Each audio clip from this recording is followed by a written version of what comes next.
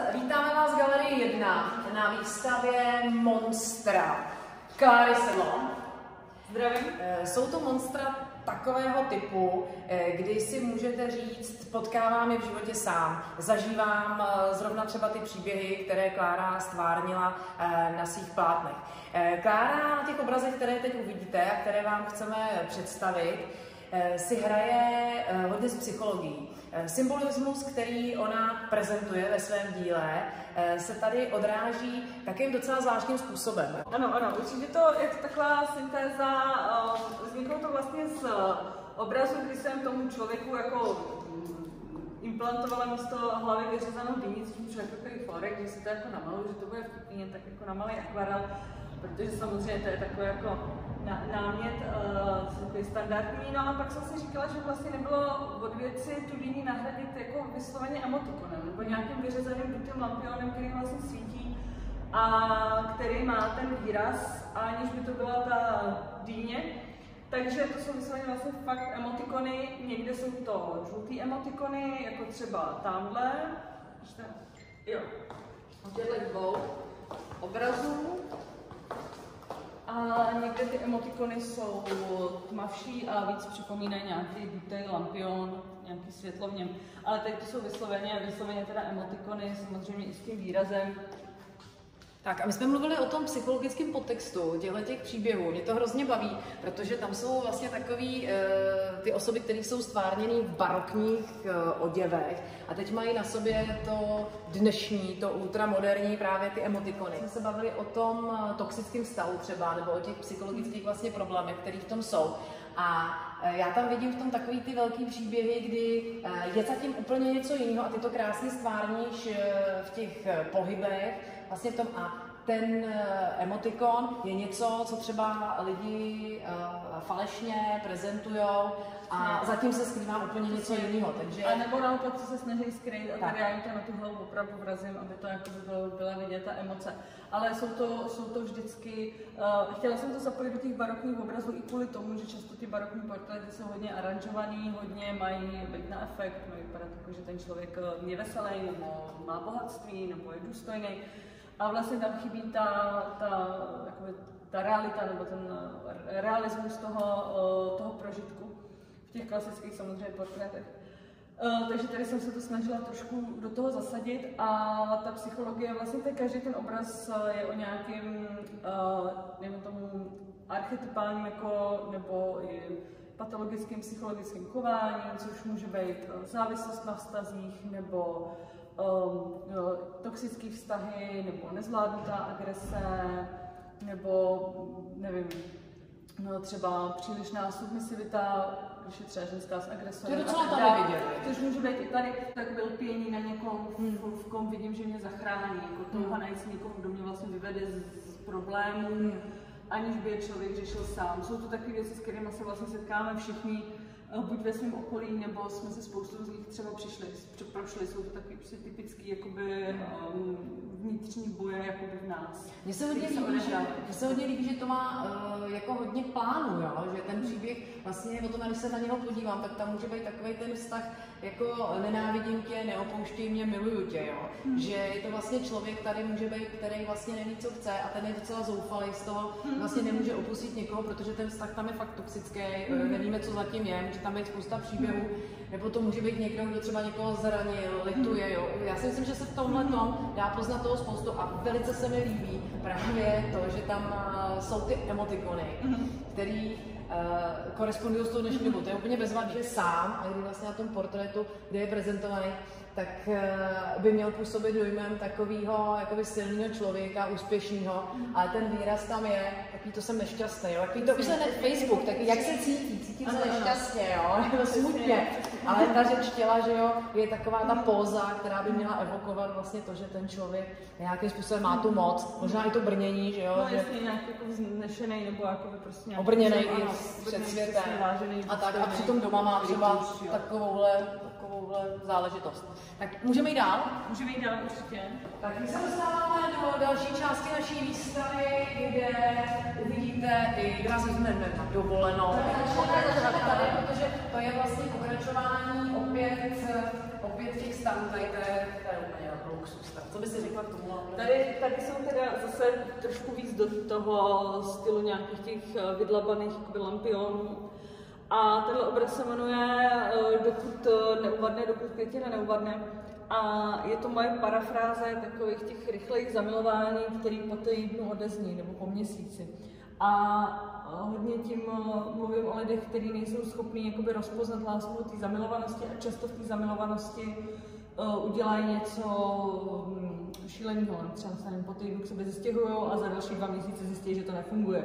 Jo, a přesně ten vztah jako mezi nimi trvá tak dlouho, dokud prostě neuvadne jako by ta kytka, která Nebo když je třeba do toho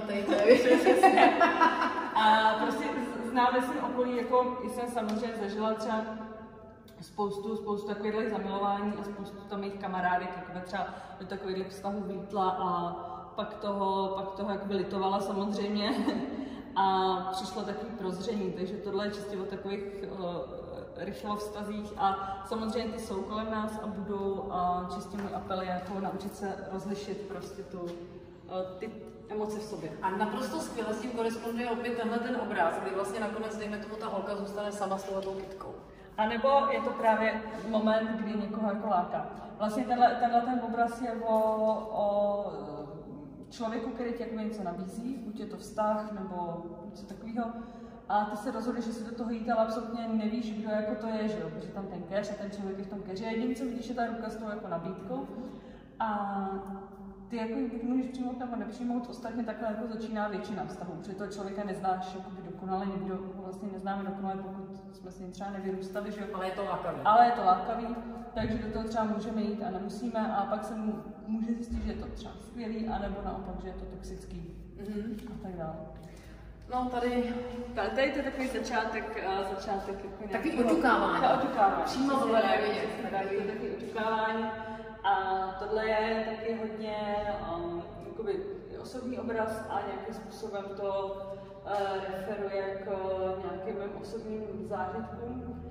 A přesně to je takový očukávání, nějaký jakoby, propojování mezi, mezi dvěma, dvěma lidmi. Taky bych to viděla klidně, dalo by se i jako říct vlastně ten, eh, tenhle ten muž, jo, ten má rukavici a já tam vidím takovou tu nepřístupnost, jo. A vlastně ona se tam natahuje, že jo. Ona je ten, který se ho snaží tím prstem jakoby pohladit a on v té rukavici, on ji prostě dál nepustí. Že jo? Přesně. A zároveň i tady jsem si pohrála s takovou symbolikou, že ty jako průstřihy na těch rukávech, že jo, e, tedy jako sítě zevnitř, když vypadá, jako by to byl nějaký, nějaká forma, která zevnitř jako žhne, ale tady na druhé straně vyhasla. Což mm-hmm. zase nějaký způsob parafrázuje, že tenhle ten člověk nějak jakoby e, chladný nebo obrněný vůči světu nebo neschopný v sobě třeba něco probudit a tahle ta osoba toho schopná je a tak dále, ale... Je prostě ta zamilovanější to vypadá. Třeba. Přesně dohlížitelka. Ano, tady tam... To je na tom nejlíp. To je na tom nejlíp, to na to dohlíží. tak ale teď pojďme se podívat eh, na tu... Na tu bizarní dovolenou. Bizarní dovolenou. Tak. Tak začneme, začneme asi Ano, tohle je úplně první obraz. Tenhle obraz se jmenuje Strach. A záleží koronavirus. A to vzniklo během, během vlastně prvního měsíce karantény a zobrazuje to jakoby náš uh, vztah lidstva k tomu, k tomu koronaviru, kdy vlastně ten vir jako může být obsažen v nás, ale zároveň my jsme totálně pohlceni tím, tím virem. Hlavně tím strachem třeba z toho, co bude. Jako, jako a tím virem ve smyslu toho strachu. Ty mluvíš o té bizarní dovolený, jo? takže vlastně bizarní dovolená má je to takový, to je karanténa, přesně. A samozřejmě potom takový ten strach, co bude, jak to bude dlouho no, trvat, podívám se ještě nějaká ta volnost, že vlastně, že člověk je sežraný a zavřený někde, ano. někde nejenom eh, doma, ale samozřejmě i uvnitř sebe, být, že jo, v tom svém vlastním strachu.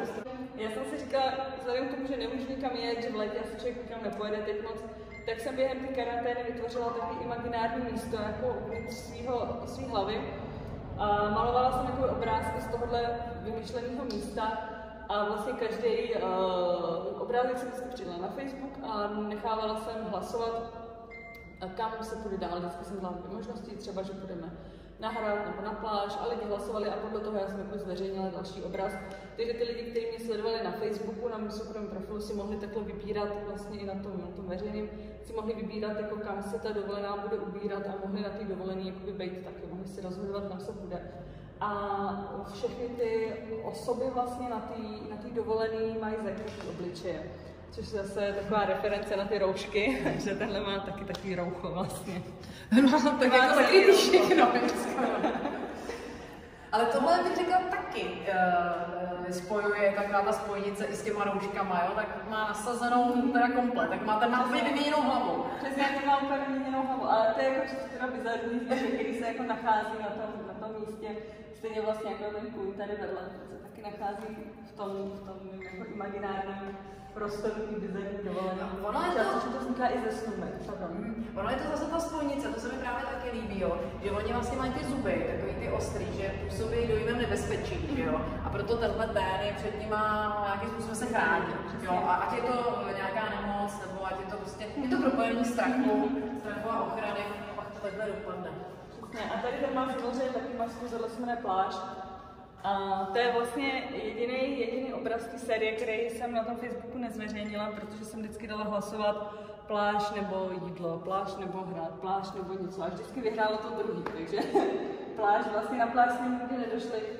A tohle teda pláž, samozřejmě tam teda nějaký kluk, že jo, který kouká do toho moře, který je v tomhle podání strašně vlastně divný, maličký, že jo, prostě, prostě pouště a s tím slunečníkem a má teda taky zakrytý obličej maskou. Zase tam vidím ten strach, jo, že prostě eh, to třeba bylo veliký a najednou to ubývá, ubývá, že se to smrskne. To je rybníček, který může no. plavat. No, a že se mu to tak jako, že se mu to tak jako před očima ztrácí, jo, a že co tam zbyde, že Moc se mu to nelíbí. Moc se mu to nelíbí, ale zase je jako trošku moudrý, jak si řekne třeba, že to je hrozně hluboký. Přesně. A což na ráno sníčka, a vždycky, když si skočila do takového plivátka, tak tam byl prostor velký. Jo, jo.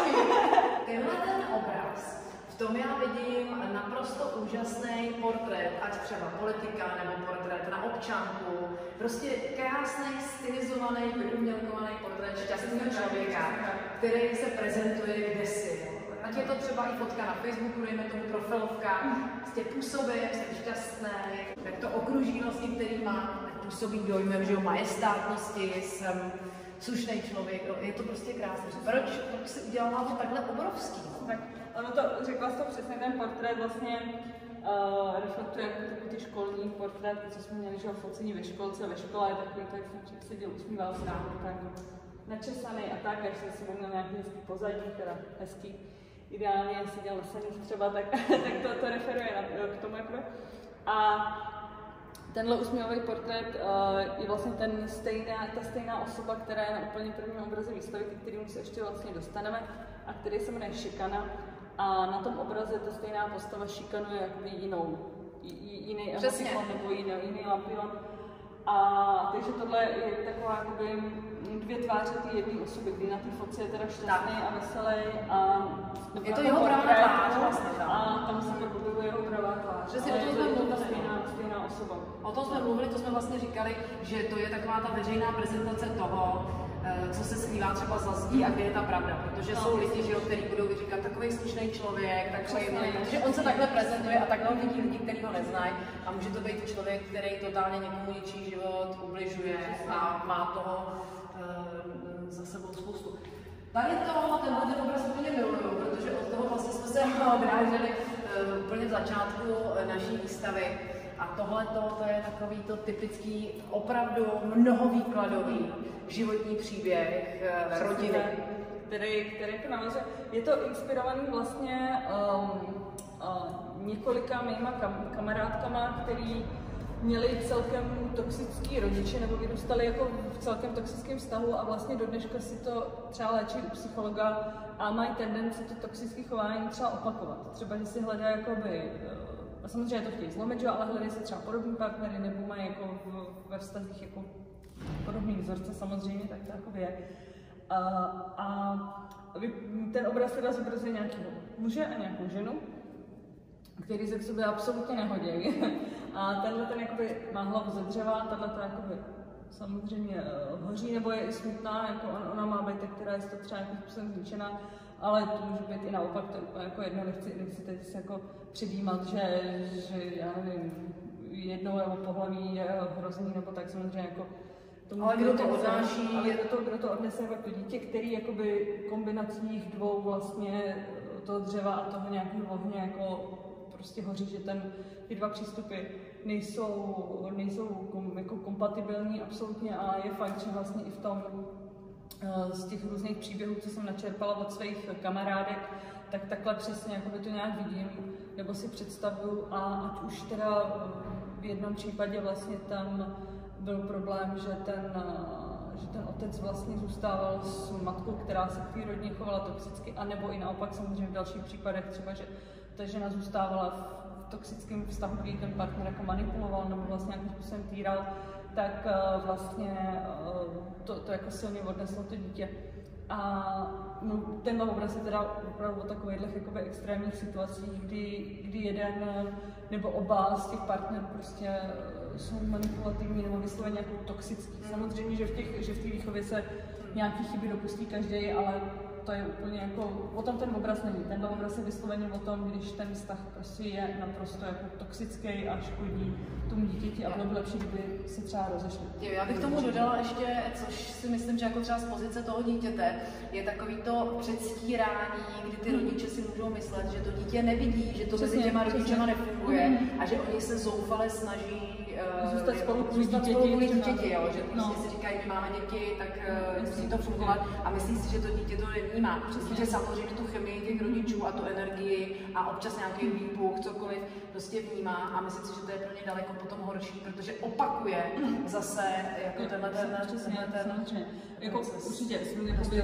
nejsem, nejsem jako terapeut, takže nevím, můžu mluvit obecně, ale minimálně z těch jakoby, okolních pozorování si myslím, že rozhodně většina, ne všechny by, by řekli, že by bylo lepší, kdyby v nějaké fázi ten vztah jako přestal být takhle toxickým a, a vyvíjel se jakoby, jakoby jinak. No. Teda ty, ty děti, jakoby, který jsou teď už dospělí, s kterými o tom, tom jako vedu debatu samozřejmě. A paní možná bude na majetek, jako, protože vypadá jako je samý zlato, tak, tak třeba je s tím kolik. Tak potom tady vlastně máme jednoho taky tajemný. To je, to je jako tajemný pán a tenhle tady kvůli tomu, že vzniknul jako první. Tohle vlastně první přišla jako by ta, ten pán s hlavou dýní, že? a hned potom uh, se zrodil tenhle, který odstartoval vlastně tu celou sérii. To byl jenom prostě prvotní záznam toho nápadu udělat jakoby tu postavu s tím emotikonem a, a tento rozhled Tady už žádný emotikon nemáme, tady už máme, tady už máme sál. Tady máme sál. Proč to? Uh, tady vlastně většiny těch obrazů, který takhle tvořím a jsou vysloveně portrétní, je to nějaká figura, se snažím stvárnit nějaké emoce a tady jsem do toho chtěla zapojit nějakou komiksovou bublinu, nebo vysloveně text, popis, který bych do toho implementovala, což eh, dělám vlastně na celé této výstavě, protože v rámci té výstavy tady jsou různé krátké texty, které mě třeba napadaly u těch obrazů, nebo které o tom obrazu mluví a jsou tady různě roznapené postech, tak uh, že si je ten divák může číst vlastně k tomu. Tady je to teda jako rovnou vsazený i do toho obrazu. A samozřejmě jsem přemýšlela, jak to tam jako kompozičně umístit a vlastně ten žlutý čtverec tohle mi tam jako hodně nějakým způsobem seděl. Když si říká, tak to prostě má vypadat, napadlo mě to a na mě to působí jako kletba, jo. Jo, jo, samozřejmě. To je vyloženě kletba, že jako Sára je tady přesně taky je to, je to, je to vyjádření emocí, je to jako, um, jako gejzír emocí, který se nějak dostává skrz to gesto ven, ať už přes přísaze, v kletbě nebo v nějakém přání, který je vysílaný někam ten výraz je je, jo, jo, ano, je dokonalý a možná pak jako to, že by to takhle dopadlo. jo, takže to je, tak bacha. Tak to je to bacha na to. Bacha na. Jednoho takového je takový, ten poznatelný, to seš ty, to je Klára Sela. To je, to je, relax. To je jako nový, že jsme taky nikdy nevěděli. To je? A prostě občas sladký sny. Ale můžu ti říct, jako, ale probudit se, probudit se pacintem, kdyby se na mě usmíval. Lese třeba lese, ten je nový sníčový z lesa, je tam tohle. Tady seš ty. Ano, jsem já v mnoha pozicích a tak vlastně směs různých úhlů toho těla a různých pozic. A taky to vyjadřuje, vyjadřuje emoce, emoce jako zoufalství, stydnění, hledání cesty nebo ukazování směrem, který by se měl člověk vydat a tak dále. Tohle je čistě opravdu o nějakým, um, o nějakým jakoby, no, směsi těch pocitů nebo segezi těch pocitů nebo úplně jako um, která byla převedená do toho, do toho plátna a většinou tyhle ty obrazy uh, vykládám nebo si vykládám nějak psychologicky až zpětně. Jakoby ne, ne nejdřív, že bych si říkala, co tam jako vlastně chci dát a už jsem tam nějakým způsobem jako dávala symboly, ale nemaluju to až zpětně, to vlastně analyzuju. Že to vychází čistě z toho pocitu a ta potřeba to namalovat jako velmi uh, náhlá nebo urgentní. Prostě. Ty máš na Free Color. Taky. No, takže je to ale jako tady v tom vidím velkou podobnost právě s tímhle tím stvárňováním tím vlastním pocitu, jo? protože ona tohle to vlastně taky takhle dávala, že jo, líbí, mně se líbí tvoje gesta, jo. Ve Frida třeba tam měla, že hodně ty své portréty a vždycky tam byla nějaký tý poeze, takový jako strnulý, ale ty to máš hodně rozhejbaný a vždycky ty si hraješ s rukama a ten, ta symbolika těch rukou je naprosto úžasná, jo. Tady třeba tyhle ty tři zajíčci, jako svým způsobem. Zase se to dá vykládat, zase se to dá vykládat různě, že jo. Je to, je to skvělé. Tady máme takovou přehlídku bogatých medvědů, z nich teda jeden No, tenhle je, je, poslední, je svatý. Je, je svatý, ano, ano, tenhle vlastně poslední. A to byla asi série, kterou jsem ale dělala především v akvarelu, kdy jsem dělala vlastně sošky svatých, se nahazovala ty hlavy, nebo byly to vlastně svatý medvíci. A tohle je jeden z mála, který teda vznikly v oleji. Vlastně. Jo. Jestli můžu teda, tak vlastně, jak jsme to tady dali dohromady, tak mě na mě ty medvídci, tyhle ty uh, všichni, všichni čtyři, působí, tak jim dojdeme, když to je nějaká partička, taková docela punková, docela možná i problematická, jako jak se nebezpečná. A tenhle ten se trhnul, ten se trhnul, víš, a ten se dostal jako na jinou cestu a ten řekl, já jsem osvícený. A já už jsem někde jinde, hoši, já už mám nepatřím, já budu čistý. A tohle to je, to je naše putovní mimino. Tohle putovní mimino. Tohle putovní mimino není nový. Tohle putovní mimino ovšem musí být uh, na co nejvíce výstavách, protože tohle mimino má svůj vlastní mýtus. Uh, to mimino existuje, ta panenka, a ten mýtus asi už jsem mnohokrát říkala, takže je známý. Nicméně součástí toho mýtu je, že to mimino bude putovat po co nejvíce výstavách. Takže když mám někde třeba úplně nové věci, tak prostě se tam snažím vždycky nadspat to mimino. A uh, stále jakoby uh, čekám, kdy si to mimino někdo koupí, protože ač, ač už bylo jako na každé výstavě, tak uh, jak říká, jak říkají moji rodiče, to si v životě nemůže nikdo koupit. Takže já stále čekám a ten, kdo si ho koupí, tak se stane součástí, součástí toho mýtu, že tenhle obraz je opravdu jako to, osobní jako legenda. Uh, no ten mýtus, má to spíš jako celý příběh prostě. Uh, a je o tom, jak jako ráda vytvářím bizarní příběhy nebo bizarní příběhy dodávám jako další, další uh, formu a na bizarnosti ještě víc. A tuhle tu panenku našla moje nejlepší kamarádka asi před několika lety, asi třeba před sedmi, v jednom penzionu, v tuším, v pomeránských lázních, ne, někde, no. A kdy, byla na nějakém uh, s kamarádem. No a ta panenka byla, byla to taková ta typická stará socialistická panenka a měla černou fixou odkreslený oči. A stála v tom pokoji, prostě tam byla takhle na židli a vypadala jako nějaká Anabel. Tak ta moje kamarádka si vyfotila a hodně dlouho ji používala jako profilový obrázek na Facebooku. No a pak se stalo za pár let, že jsme se s touhle kamarádkou k sobě sestěhovali. Kamarádka se rozhodla, že by jako bylo strašně super tu panenku mít v pokoji, že by tam jako seděla v tom jejím novém pokoji, že tak napsala do toho penzionu, jestli ji pořád mají. A z toho penzionu jí napsali, že jo, a že jí tu panenku třeba za pěti kilo prodají. A už nevím za kolik. Takže ona si ji koupila a od té doby tu panenku máme doma. A ta panenka je známá jako miminko. A já jsem ji pak namalovala na tenhle obraz vlastně a to má spojitost vlastně s tou Barley galerii, kde jsme měli výstavu, taky z Reny tady jsme dělali. A namalovala jsem to teda na obraz, obraz jsem vystavila v Barley galerii a panu galeristovi se to líbilo tak moc, že z toho miminka vlastně chtěl udělat vývěsný štít galerie. Takže jsme to jako vyrobili metr na metr obrovský to, tu hlavu toho mimina.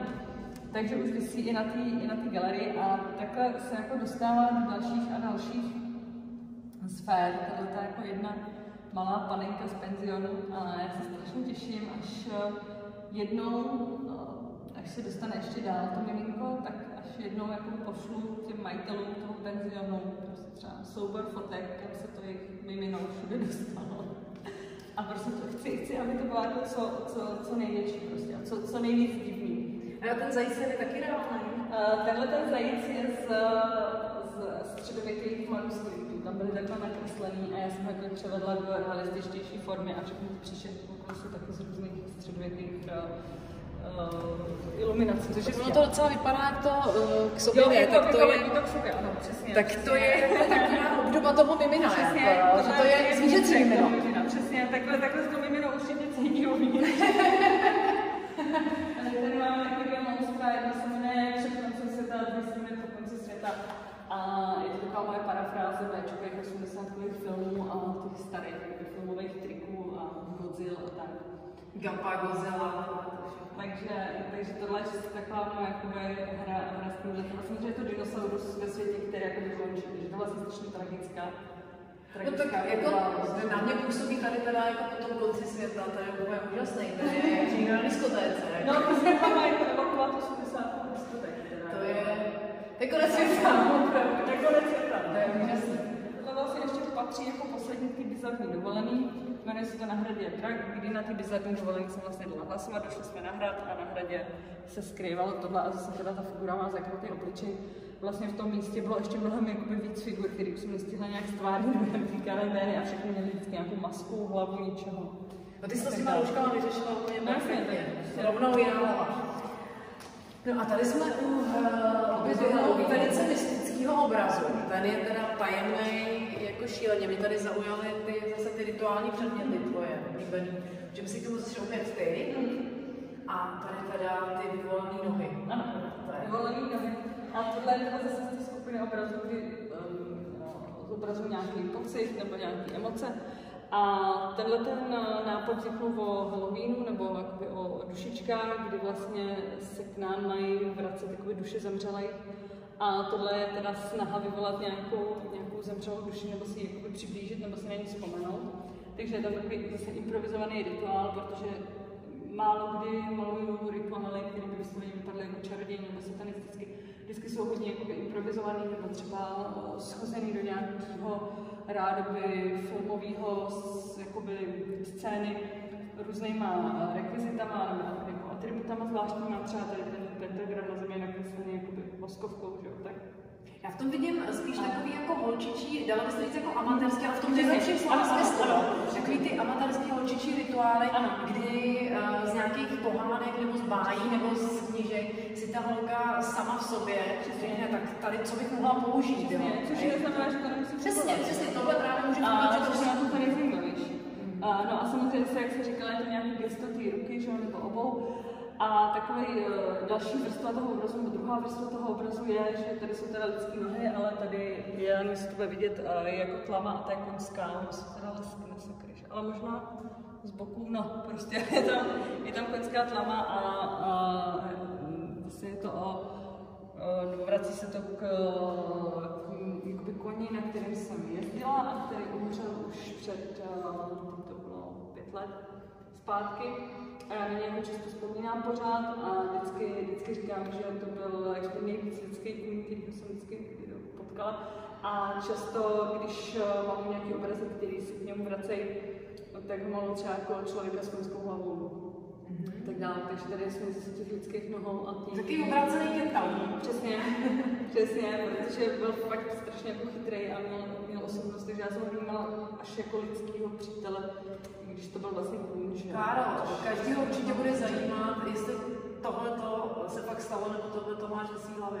Tohle to je jako ten rituál. Tenhle tohle to, jestli to, tohle je, tohle jako mám ve hlavě, ale to nikdy jsem vydlavala. takhle si neseděla před zrcadlem. Že by si se podle toho malovala.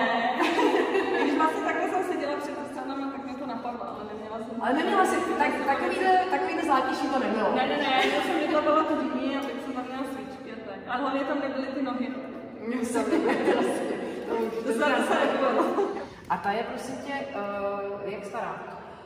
Uh, to je stará pár let, ale malovala jsem na ní třeba rok. Jo. Já je pak měním většinou, protože už jsou tak těžký, že nejdu držet. Mhm. Tak jo, tak a teď se dostáváme vlastně k tomu, k tomu masakru, doslova, eh, který tady máme. A to je, kolik to má vůbec? A má to 4,20 na 3,70. Jmenuje se to Masakr uh, a nebo Masakr na album a vlastně parafráze to um, vyvraždění, na Čiu od Delacroix, ale spíš než ten obraz od Delacroix, to parafrazuje kopii toho obrazu, která vysí nad hlavním schodištěm na Akademii výtvarných umění. A protože každý, kdo na tu školu chodí, tak ten obraz je strašně jakoby, eh, prostě signifikantní pro tu školu. Jo? Ten každý, kdo tam jde na přednášky, ho vidí, je to fakt nad hlavním schodištěm. A takže já vlastně parafrázuju... Nenaštvali se na tebe. Ne, já vlastně parafrázuju kopii toho obrazu, ne? takže se to nijak nevztahuje jako k situaci k vraždění na či jako k té historické události, ale vztahuje se to k té kopii a k té škole. A k tomu, jaký vztah má vlastně ten obraz, nebo ta kopie toho obrazu k škole. A já to vlastně parafrázuju. Uh, ta podlaha je chodba. Ale reálně. Vlastně takhle, takhle vypadá podlaha na obu. A i ten, je tam spousta prvků z aut, včetně třeba toho koně, to je vlastně kulisa, kterou nechali na akademii filmaři, když já jsem v prvá po natáčení, a který tam zůstal a tak jako své volně putuje, já vždycky vidím v jiném ateliéru, prostě tam putuje po té škole. A takže tam jsou takové prvky použitý v té mapě, v těch očích těch plišáků, jsou vlastně odráží chodba na aut, jako chodba, která je, uh, která je na tom obrazu. A na těch svetrech, těch plišáků jsou napsané různé věci, které mě, které jsem během toho svého studia slyšela, které mě způsobem ovlivnily, nebo mě naopak uh, přišly absurdní a donutily mě nějak se jim vymezit a, a tak dále. Takže je to vlastně taková i moje reflexe uh, té doby strávené na té škole. A tady v levém dolním rohu je namalovaný, přilepený, vytištěný ten originál od toho Delacroix. Tohle je jako vraždění na čiu. Já vlastně to, co na tom parafrázuje, je rozložení těch postav. Ne, jako by ta, ani, ani ne ta barevnost, nebo tak, spíš prostě čistě rozložení těch postav. A vlastně takhle jsem tam měla přilepenou tu, tu předlohu, tak jsem to tam pak namalovala. Takže vlastně ta holka, to je tam jediná No, ta holka je tahle. To je tahle. To je tahle. Ale ta, ta jediná vlastně má obličej, jinak jsou všichni jo. zakrytý, buď nejsou vidět, anebo mají hlavy těch plišáků. Mm-hmm. Ten kůň samozřejmě na tom originále je kůň, že jo? Kůň, rozhodně. A tady leží malý dítě na té To je tady taky pravo a to je ten, to je ten, Takhle se nelíbí to malý to je ten koník. a jediná teda postava, která tam, která tam je, je teda tohle. Takový, vidět obličej lidský, krásný. Je to fakt, je to úžasný, prosím tě, jak ti to dalo uh, časově? Uh, no, semestr. Jeden, jo. No. Takže vlastně jediný místo, kde to bylo vidění, byly klauzury na minulém roce, konci minulého roku. A to je vlastně první příležitost, kdy to vystavujeme. Když je to teda jako starší plátno, nebo rok, rok třeba starý, to poprvé, kdy to Tak jako... jako se nikam nevešlo, že tady v galerii jedna, Jako i tady to nebylo skvěle to tam pověsit, ale... zvládlo se to, zvládlo se to. Já bych teď měla ještě jedno takový velký překvapení, ještě když se dostaneme teda zase na začátek té výstavy, ještě k tomu Heisenkovi. Tak eh, Klára dneska speciálně vytvořila už na místě úplně nový obraz. Ale úplně, úplně nový obraz, aby jsme ho teda nainstalovali, tak je pouze nainstalovala sám. A musím teda říct, že, že určitý podíl na to má i kamarád, který mi pomáhal instalovat uh, Vladimír Cita, který vlastně mi pomohl to dílo jakoby vytvořit krásně. Takže to tady takhle bude. Je tady možná bude na věky věku. tady teď se dostáváme tady k tomu pánovi, kterého jste viděli vlastně tam eh, na začátku. že Na začátku té prohlídky. A je to teda ta stejná osoba jako na tom vlastně velkým portrétu, kde se usmívá, tak tady je vidět jeho pravá tvář, kdy teda šikanuje, tady je ten obraz šikana, když šikanuje toho, toho nebožáka na zemi. No, takže takovýhle skutečně je, je to zasazený do dětské figury, protože ta šikana jako eh, si ji nejčastěji představujeme nebo vnímáme právě v tom dětském světě a tam taky jako samozřejmě Jasně, začíná. to, to dítě, právě tam to může přetrvávat, že, že to pak je velký dítě a zůstává to dělá Třeba, že to bude pořád. šikana v zaměstnání, prostě v mezilidských vztazích, dospělých prostě Je to prostě člověk, který se na venek eh, snaží jevit jako Šikana, nějaký slušňák. přitom A takhle tohle je pravá tvář. Tak. Jo, tak Děkujeme. děkujeme, děkujeme za to, že jste s námi strávili tuhletu komentovanou prohlídku a srdečně vás zveme na výstavu Kláry Sedlo v Galerii 1, která se jmenuje Monstra.